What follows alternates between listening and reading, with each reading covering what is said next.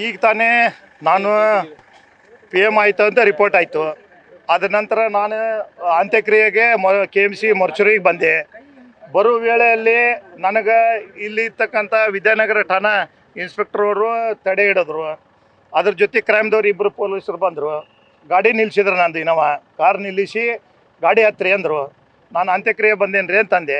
ಇಲ್ಲ, ನೀವು ಕಮಿಷನರ್ ಕರೆ ಹತ್ತಾರ, ಗಾಡಿ ಹತ್ತಿರಿ ಗಾಡಿ ತೊಗೊಂಡು ಕಮಿಷನರ್ ಕಡೆ ನಡ್ರಿ ಅಂದರು. ನಾನು ಯಾಕೆ ರೀ ಅಂತ್ಯಕ್ರಿಯೆ ಬರಬಾರ್ದು ಅಂತ ನಾನು ಪ್ರಶ್ನೆ ಮಾಡತ್ತೀನಿ ಅವರು ನನಗೆ ಇಲ್ಲ ನಿಮಗೆ ಮಾತಾಡೋದೈತಿ ಅಂತ ಕೇಳ್ತಾರೆ. ಇಲ್ಲಿ ಮಾತಾಡ್ದೇನು ರೀ ಅಲ್ಲೇ ಮರ್ಚುರಿ ಬರ್ತೀನಿ. ಮತ್ತು ಹೆಂಗಿದ್ರು ಬಾಡಿ ಗಾಡಿಗೆ ಹಾಕ್ಬೇಕು. ಓಂ ನಮ ಶಿವಾಯ ಗಾಡಿಗೆ. ಮತ್ತು ಗಾಡಿ ಬರ್ತಾ ಇದೆ ನಾನು ಹಿಂದೆ ಗಾಡಿ ಬರ್ತಾ ಇದೆ. ಅದ್ರಾಗ ಹಾಕ್ತೀನಿ ಮತ್ತು ಅಲ್ಲೇ ಮಾತಾಡೋಣ ನಡ್ರಿ ಅಂದೆ. ಆದರೂ ನನ್ನ ದಬ್ಬಳಕಿಂದ ನನ್ನ ತಡೆ ಹಿಡಿದು ಈ ರೀತಿ ಕಮಿಷನರ್ ಕರೆಯತ್ತಾರ ನಡ್ರಿ ಅಂತೇಳಿ ಕರೆಯತ್ತಾರ ನಾನು ಏನು ತಪ್ಪು ಮಾಡೀನಿ? ಅಂತ್ಯಕ್ರಿಯೆ ಬರುತ್ತಪ್ಪ. ನಮ್ಮ ಸಮಾಜದವ್ರು ನಾವು ಸಮಾಜದವ್ರು ನಿಂತು ಅಂತ್ಯಕ್ರಿಯೆ ಮಾಡ್ಬೇಕು. ಈಗ ಓಂ ನಮ ಶಿವ ಗಾಡಿ ಹೇಳೀನಿ ಸ್ವಾಮಿಗಳು ಬರತ್ತಾರ ಪೂಜಾ ಸಾಮಾನು ತೊಗೊಂಡು ಬರತ್ತೀವಿ ಅದನ್ನೇ ಲೋಯನಗರಕ್ಕೆ ಸ್ವಾಮಿಗಳನ್ನ ಪೂಜಾ ಸಾಮಾನು ಕೊಟ್ಟು ಕಳಿಸಿದೆ. ಶವವಾಹನ ಏನೈತಿ, ನಮ್ದು ಅಂತ್ಯಕ್ರಿಯೆ ಓಂ ನಮ ಶಿವ ಗಾಡಿ. ಅದನ್ನ ನಾವು ಇಲ್ಲಿ ಮರ್ಚರಿಗೆ ಬಂದ ಬಾಡಿ ಹಾಕ್ಕೊಂಡು ಅವ್ರ ಮನೆಗೆ ಅಂತ್ಯಕ್ರಿಯೆಗೆ ಹೋಗ್ಬೇಕು. ಸಮಾಜದ ಕೊಲೆನೂ ಆಗೈತಿ, ಆರೋಪಿಗಳನ್ನ ಅರೆಸ್ಟು ಮಾಡಿದ್ದಾರೆ.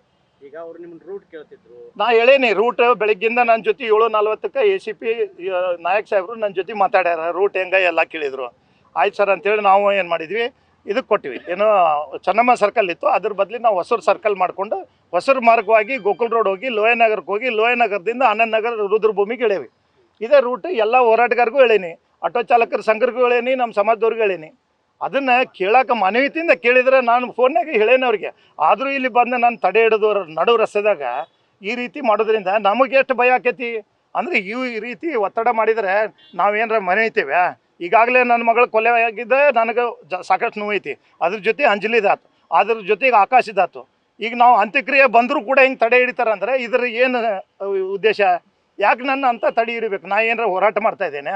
ಏನೋ ಬಾಡಿ ಇಟ್ಕೊಂಡು ಏನಾರ ಸತ್ಯಾಗ್ರಹ ಮಾಡೇನೆ ಏನೂ ಮಾಡಿಲ್ಲ. ಈಗ ಅದ್ರ ನಿನ್ನೆ ಕಂಪ್ಲೇಂಟ್ ಆಗೈತಿ, ಅದ್ರ ಪ್ರಕಾರ ಎಂಟು ಮಂದಿ ಆರೋಪಿನ ಹಿಡಿದೇನೆ ಅಂತ ವರದಿ ಹೇಳಿದರು. ಆಯ್ತು, ಸಂತೋಷ ಆತ್ರಿ ಇನ್ನೊಂದು ನಾಲ್ಕು ಮಂದಿ ಹಾಕ್ರಿ ಅಂತ ಹೇಳೀನಿ. ಮತ್ತು ಅದನ್ನು ಬಿಟ್ಟು ಬೇರೆ ಏನು ನಾವು ಕೇಳಾತೀವಿ? ನ್ಯಾಯ ಕೊಡಿಸ್ರಿ. ಅವನ ಆತ್ಮಕ್ಕೆ ಶಾಂತಿ ಸಿಗಬೇಕು. ಆ ಕುಟುಂಬಕ್ಕೆ ನ್ಯಾಯ ಕೊಡ್ರಿ ಅಂತ ನಾವು ಕೇಳ್ತಾ ಇದೀವಿ. ಇಷ್ಟೆಲ್ಲ ಇಟ್ಕೊಂಡು ನನ್ನ ಮೇಲೆ ಈ ನಿಮ್ನಿ ಮಾಡೋದ್ರಿಂದ ಏನು ಬರ್ತೈತಿ? ಯಾಕೆ ಹಿಂಗೆ ಮಾಡ್ತಾರೆ ಪೊಲೀಸರೇ? ಈಗ ನಾನು ಕಮಿಷನರು ಮಾತಾಡಿದ್ರೆ ಏನು ರೀ ಸುಳ್ಳು, ಇಲ್ಲ, ನಾನು ಕೆಲವೊಂದು ಮಾತು ಮಾತಾಡ್ಯಾರ ಅವ್ರು. ನಾನು ಬ ಮಾತಾಡ್ತೇನೆ ಅದ್ರ ಬಗ್ಗೆ. ವರಿಷ್ಠರು ಕೂಡ ನಾನು ಏನು ಕಂಪ್ಲೇಂಟ್ ಮಾಡ್ಬೇಕು ಮಾಡ್ತೀನಿ. ಆದರೆ ಈ ರೀತಿ ಸಿ ಪಿ ಐಗಳನ್ನ ಕಳಿಸಿ ಎ ಸಿ ಪಿ ಅವ್ರನ್ನ ಕಳಿಸಿ ನಡು ನಡು ರಸ್ತೆದಾಗ ಹಿಡಿದು ನಾನು ಅಂತ್ಯಕ್ರಿಯೆ ಕೂಡ ಹೋಗ್ಲಾರ್ದಂಗೆ ನೋಡ್ತಾರಂದ್ರೆ ಅಂಥದ್ದು ಏನು ಮಾಡೇನಿ ಅಪರಾಧನ ನನಗೆ ವಿಚಿತ್ರ ಆಗೈತಿ.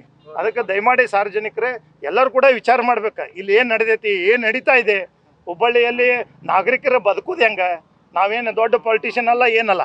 ಹಾಂ ಏನು ದೊಡ್ಡ ಹೋರಾಟಗಾರರು ಅಲ್ಲ ನಮ್ಮ ಮಗಳ ಕಳ್ಕೊಂಡು ನಾವು ನೋವಾಗಿದ್ದೀವಿ ಅಂಥ ಪರಿಸ್ಥಿತಿ ಒಳಗೆ.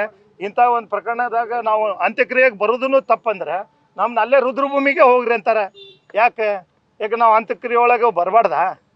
ಇಂಥ ಒಂದು ವ್ಯವಸ್ಥೆ ನಡೆದೈತಿ, ಅದನ್ನು ಯಾರು ನೋಡೋರಿಲ್ಲ, ಕೇಳೋರಿಲ್ಲ ಅದಕ್ಕೆಲ್ಲರೂ ಸಾರ್ವಜನಿಕರು ಎಚ್ಚೆತ್ತಾಗ್ರಿ. ಈ ವ್ಯವಸ್ಥೆನ ಬಂದ್ ಆಗ್ಬೇಕಂತ ನಾವು ಬೇರೆ ಸಮೇತ ಕಿತ್ತಾಕ್ರಿ. ಯಾರು ಇಂಥದಕ್ಕೆ ಮಾಡ್ತಾರ, ಯಾರು ಬೇಕಾದವ್ರಿಲ್ಲಿ ಎಲ್ಲನೂ ವ್ಯವಸ್ಥೆ ಬದಲಿ ಆಗಲಿ ಅಂತ ಕೇಳ್ತೇನೆ. News first. ನಿರ್ಭೀತಿಯಿಂದ ನಿಮ್ಮ ಪರವಾಗಿ.